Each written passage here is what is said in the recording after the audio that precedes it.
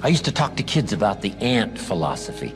Let me give you a couple of clues now about the ant philosophy. Here's number one ants never quit.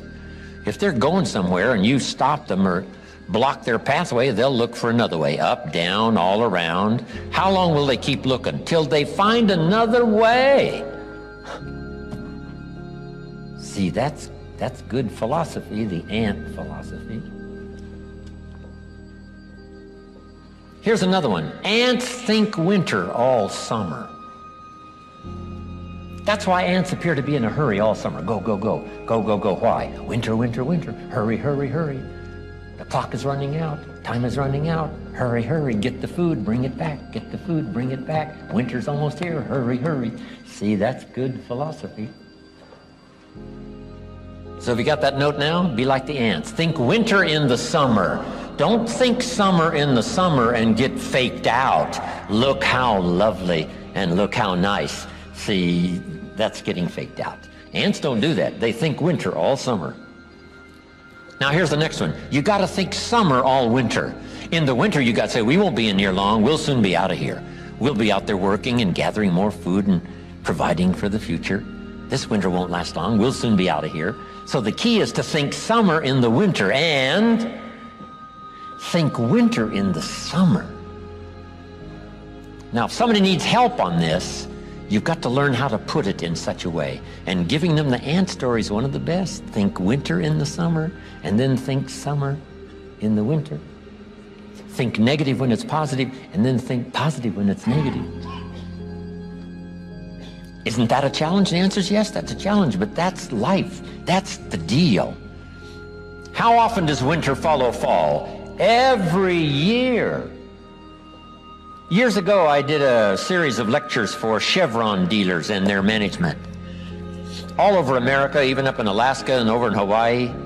When I first started giving them this series of lectures, the management and uh, some of the leaders of the Chevron uh, Corporation called me in and we had a nice talk. And they said, well, first of all, Mr. Rohn, we'd like to get acquainted and uh, we've heard about your presentation and we think you might be able to share some good ideas. And they said, by the way, you travel the world and, right, you know a lot of corporate executives and you've been in business for a long time all around the world. They asked me, what do you think the next 10 years are going to be like? And I said to them, gentlemen, you have asked the right person. So their eyes lit up. I said, I do have experience. I have traveled the world and I've lived a long time and I really know the deal.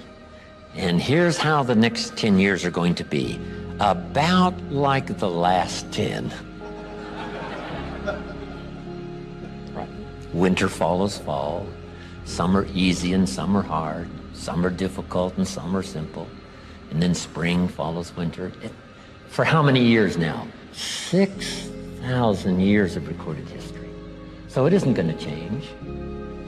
Here's the essence of life opportunity mixed with difficulty. That's about as simple as you can put it. From the beginning. The first two boys of the first family had difficulty and one killed the other. The statistics have never been that severe since. but That wiped out 25% of the population.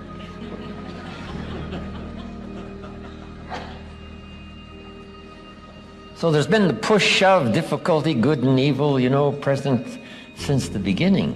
So that's not going to change. The winters are going to come.